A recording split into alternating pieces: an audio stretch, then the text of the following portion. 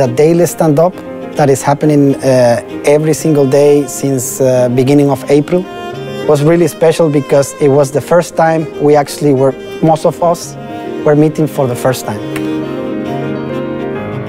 Providing broadband access to communities and businesses comes in many flavors.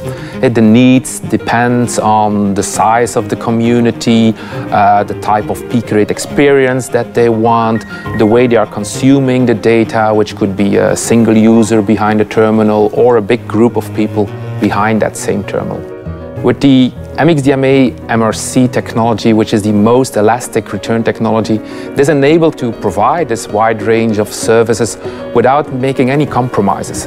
Full control on, on how much bandwidth they allocate in function of the value of the service, being able to mix and match different terminal types all in the same pool. And on top of that, the self-organizing nature of Mx-DMA really makes it very easy to operate. So with Mx-DMA and the Dialog platform, this really is a, a, a, big range of opportunities. And I, I, do believe that in the future they will bring new services to, to market and even more in, in, mobility and terrestrial. And in the end, that will allow them to fully monetize the full capacity of their uh, KA high throughput satellite. So, and when we introduced uh, Mx-DMA MRC, they were the most uh, impressed by the fact that we could now generate that, that scale of services, right? They were already familiar with Mx-DMA and the self-organizing nature, but now translating that to this real new range of services and coming up to a scale, uh, in a network scale of thousands and thousands of terminals, I guess that's where we really made uh, the difference.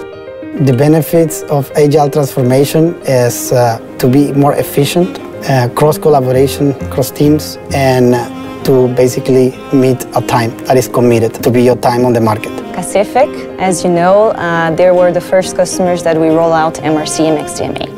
So we have like a very good collaboration between the teams, ST and Kacific together. We have embedded engineers also there to uh, facilitate those communication between those parties. And uh, yeah, I mean, the numbers, I think they speak for themselves. I think Kacific has over 56 beams configured and operational and uh, around 5,500 terminals in MRC already operational. We have very good um, yeah, escalations metrics uh, that show that we were able to deliver to them at least uh, for testing patterns until we get everything stabilized. The cross collaboration has been amazing uh, between colleagues and uh, we actually managed to fix really complex issues in a really complex scenario which is working from home. So we have managed to do that.